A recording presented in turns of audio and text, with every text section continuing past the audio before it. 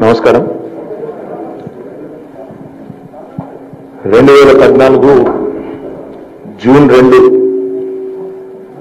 తెలంగాణ రాష్ట్ర ఏర్పాటు జరిగిన నాటి నుండి నేటి వరకు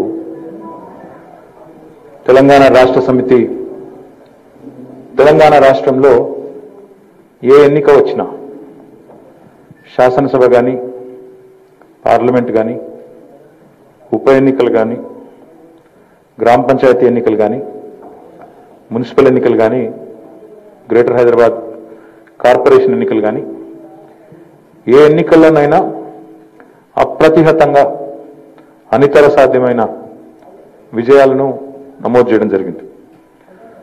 సరిగ్గా సంవత్సరం కిందట సూర్యాపేట జిల్లా హుజూర్ నగర్లో ఉప ఎన్నిక వచ్చినప్పుడు కూడా బ్రహ్మాండమైన విజయాన్ని నమోదు చేసుకోవడం జరిగింది.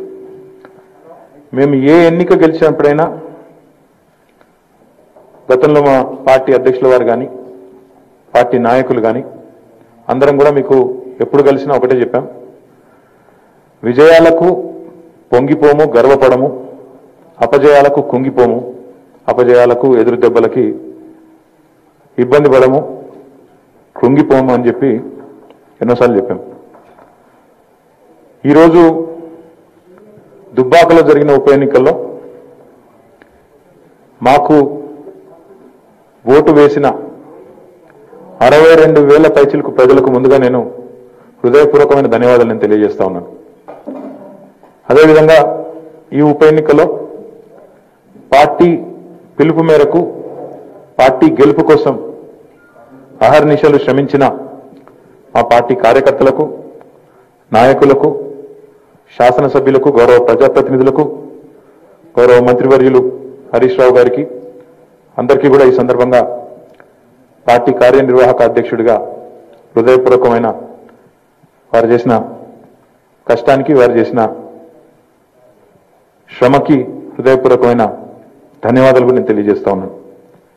సరే ఫలితం మేము ఆశించినట్టు రాలేదు.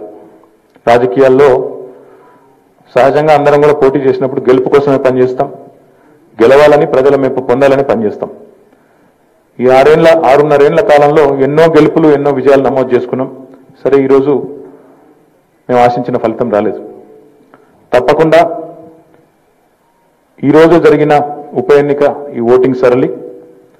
ఒక రకంగా మా పార్టీ కార్యకర్తలకు నాయకులకు అందరికీ కూడా అప్రమత్తం కావడానికి కూడా ఒక రకంగా పనికొస్తుందని చెప్పి నేను అనుకుంటా ఉన్నాను. అదే రకంగా మరి మేము ఆశించిన విధంగా ఎందుకు ఫలితాలు రాలేదు అనేది అతి త్వరలోనే కూర్చుంటాం. లోతుగా సమీక్షించుకుంటాం. అర్థం చేసుకుంటాం ఎందుకు ఫలితం మేము ఆశించినట్టు రాలేదు అనేది లోతుగా సమీక్షించి అర్థం చేసుకుని మా కార్యక్రమాలు ప్రభుత్వ పరంగా పార్టీ పరంగా ప్రజా సంక్షేమ కార్యక్రమాలు కానీ అభివృద్ధి కార్యక్రమాలు కానీ ఎక్కడా తొట్టుపాటు లేకుండా ప్రజలిచ్చిన తీర్పు శిరోధార్యం కాబట్టి మా పని మేము బ్రహ్మాండంగా ప్రజల మెప్పు పొందడానికి మా పని మేము చేసుకుంటూ ముందుకు పోతాం. తప్పకుండా ఈ తీర్పును తప్పకుండా లోతుగా సమీక్షించుకొని మా పార్టీ అధ్యక్షుల వారి నిర్ణయం మేరకు భవిష్యత్ కార్యాచరణను భవిష్యత్ కార్యక్రమాన్ని కూడా నిర్ణయించుకొని ముందుకు పోతాం. మళ్ళీ ఒకసారి ఈ ఎన్నికల్లో మాకు ఓటు వేసిన అరవై రెండు వేల పైచిలకు దుబ్బాక ప్రజలకు హృదయపూర్వకంగా ధన్యవాదాలు.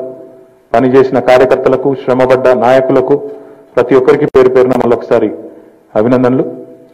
మిగతా విషయాలు భవిష్యత్తులో మళ్ళీ మాట్లాడుకుందాం. Thank you